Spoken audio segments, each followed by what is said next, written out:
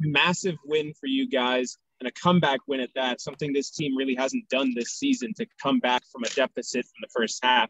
How much does that speak of, of the character of this team, especially over the last five games, uh, compared to how you guys were in the beginning of the season?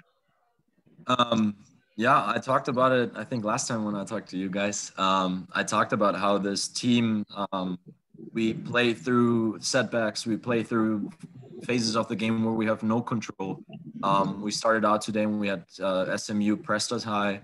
They had good control over us. We, we didn't really get the ball out of our half um, the way that we wanted to, um, and and they scored early. And um, yes, we were not used to that yet in this season too much.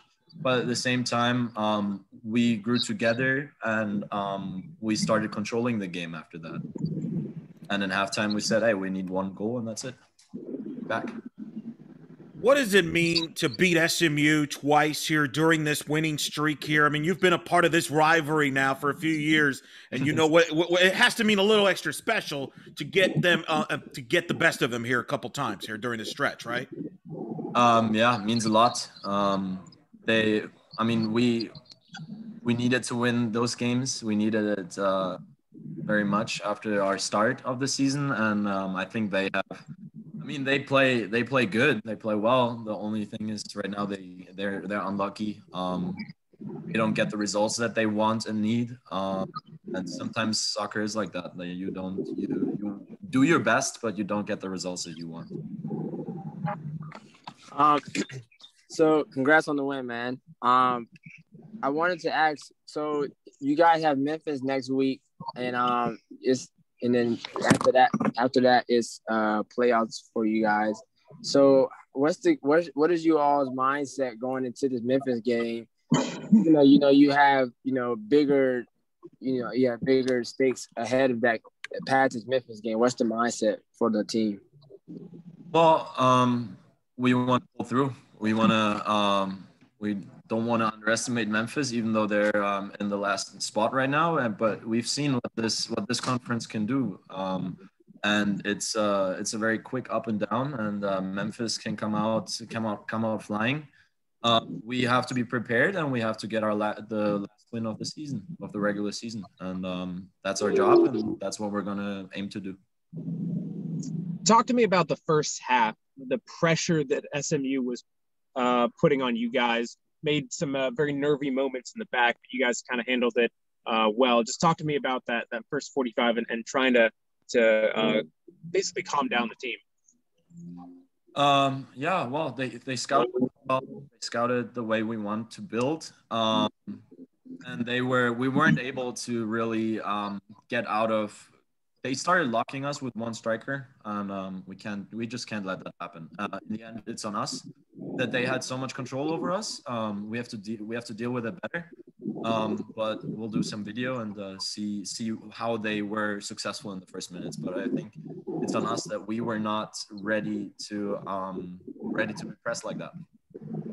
And then and then the team. I mean, it's kind of a cohesive response, um, but at the same time, the guys like Yoni, uh, people started started to step up and not lose their their way of doing things. We just doing things until we found a way to get out of their press and find the spots and find the uh, space in behind their pressure.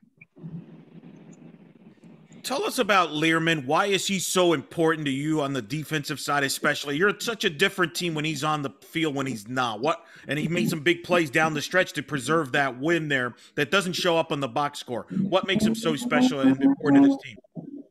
Um, gotta be honest, uh, he's one of the best center backs I ever played with, and um, and he definitely changes the way that we play because he's so confident on the ball. He can he can step into spaces. He can uh, he can take the spot off the center mid at times, and sometimes that helps you enormously, especially with one striker pressing.